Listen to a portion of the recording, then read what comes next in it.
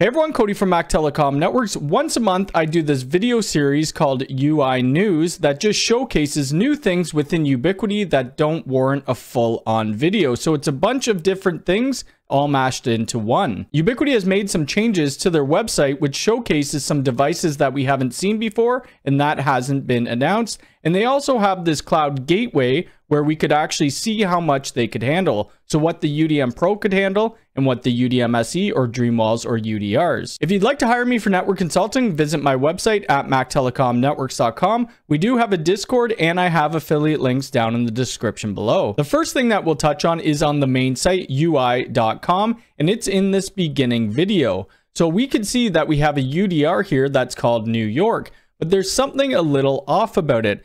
Down below, we could see that it's running the network controller, protect, and talk. As most of you know, you could only currently run two applications or two controllers on the UDR, but this is showing three. So maybe there's an update coming out that's going to allow us to run three controllers. Is that going to be really great on the UDR? Not too sure, but if it does come out, I will be testing it. Next, we'll take a look at the Cloud Gateway section, and this is all new. So it says experience the UniFi Cloud plug and play site management, which is license free. We could scroll down and it's going to show us a bunch of different things. But if we want more information on a specific console, we can see the Dream Machine, the Dream Wall, and the Dream Router. Let's click on the Dream Machine. Clicking on the Dream Machine, it says a performance monster we can see it says your IT supercomputer, and then it's showing us a bunch of different specs on it. Under management, the deploy time is about 10 minutes, and we can have 100 plus UniFi devices connected to this controller on the Dream Machine.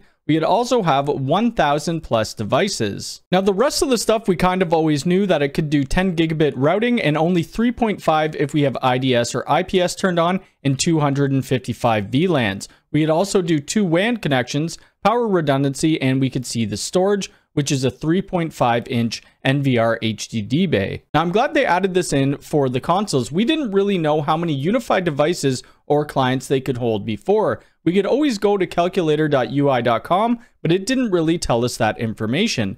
And one other new thing on this page, which is really cool, which I've been waiting for for quite a while, if we scroll down, it says high availability. And this is coming soon with shadow mode, which I have no idea what that is, but hopefully it is a great high availability. If any of you have purchased the PDU Professional and you've seen the little star asterisk, it said virtual router redundancy coming soon. So I'm not too sure if they're getting away from that and now just focusing on this high availability with shadow mode, but we will see once it comes out. Now, another product that's being teased on their website, if we go under our door access and scroll down to the bottom, we're going to see a new device. So on the left-hand side, this is our standard access hub, but this is something new, the Enterprise Access Hub, and you can see it's coming soon. An enterprise-grade door hub that supports up to eight entrance controls and eight access readers. So to me, this will be able to control eight doors, and I really hope they come out with this sooner than later because this is what we have really needed.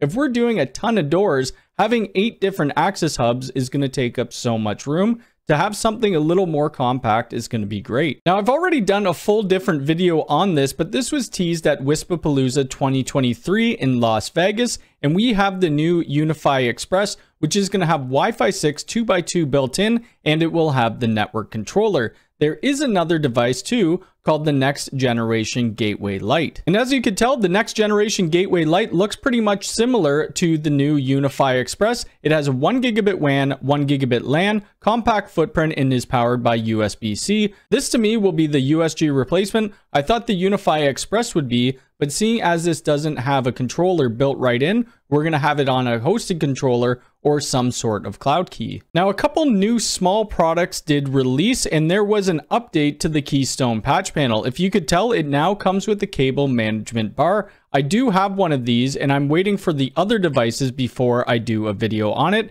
but every one you order should come with the cable management bar, and I did tell them about this a while ago that it should be added. The next new item that they released was the Keystone blank insert. And I know a lot of people were looking for this so that it would match all their Ubiquiti gear. It's the same silver as on their device. And they did release one more thing, which is the RJ45 dust cover. So it does look pretty nice. I don't have the Keystone blanks or the dust covers yet as they're not available in Canada. But once they do, I'm going to do a video on the Keystone patch panel the dust covers, and the blanks. Now, this next topic was posted in the community forums on the Ubiquiti page. It says UA Hub G4 Doorbell Pro support.